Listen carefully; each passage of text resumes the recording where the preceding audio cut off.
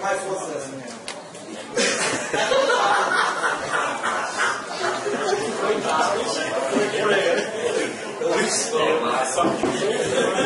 Bom dia a todos e a todas, né? Então, queria aqui parabenizar aqui o doutor pelo esclarecimento, vídeo, viu?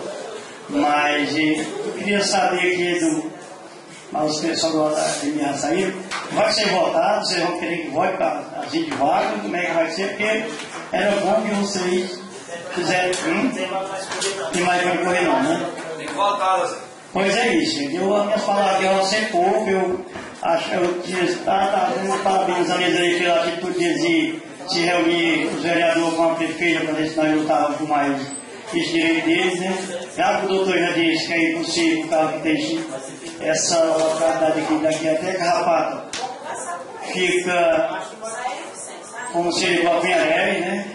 E vocês estão vendo aqui o esforço a vontade dos vereadores, de todos que estão aqui, a vontade da gente era que fosse 40 vagas, porque eu acho que 20 vagas, 40 vagas já está dando.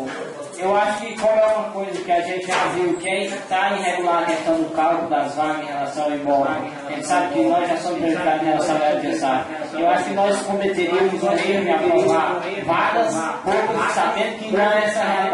Que não se deve votar esse projeto, esse projeto deve sim ir para 40 vagas, porque há necessidade de, de Então, o que é que adianta? Vai lá, depois votar na faculdade, porque já não A gente sabe que o gente está errado. já sabe por conhecimento que existe os imóveis, só que existe o problema que a gente deve acompanhar que a gente deve puxar, a gente deve discussão aqui, a gente não faz nada, a gente deve colocar a coisa, a coisa deve simplificar o nosso Tá certo, mas é isso que eu queria ouvir de vocês, que vocês estão estando aqui, toda nossa atitude é de ajudar, é de fazer, porque nós sabemos que todos somos uns, uns batalhadores, pessoas que têm desempenhado um trabalho muito importante no nosso município, né?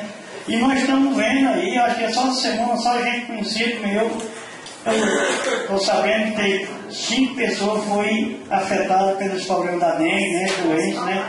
Esse 39 que está tendo agora não está dando conta, isso se você, você passar a ser 20, né? Eu acho que a nossa vontade, vocês estão ligando de todos, esse pessoal da academia estão vendo, os vereadores não estão achando que isso ia ser. Pois é isso, minhas palavras.